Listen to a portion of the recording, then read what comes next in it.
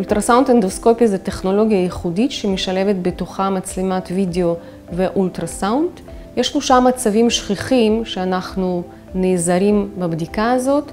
אחת המצבים השכיחים זה גילוי מוקדם של סרטן לבלב. מכיוון שהלבלב נמצא צמוד לקיבה ולטריסריון, כשאנחנו עומדים עם מכשיר שם, אנחנו יכולים לראות את הלבלב ברזולוציה מאוד גבוהה, ועל ידי כך לגלות גידולים קטנים בלבלב שאולי לא נראו בבדיקות הדמיה האחרות, ולפי הצורך לקחת ביופסיה.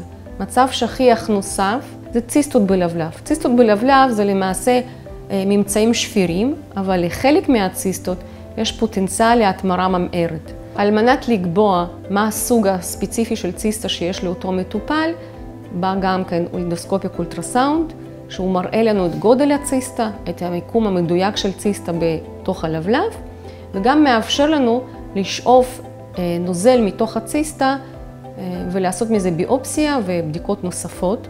בחלק מהמקרים הציסטה כל כך תמימה ולא מזיקה, שאנחנו יכולים אפילו להגיד ללב שלם לאותו המטופל לא להיות במעקב, וזה כמובן מידע שמאוד מאוד חשוב. מצב שכיח נוסף זה אבנים בדרכי המרה. אנדוסקופי אולטרסאונד מאוד רגיש וספציפי גם למצבים האלה.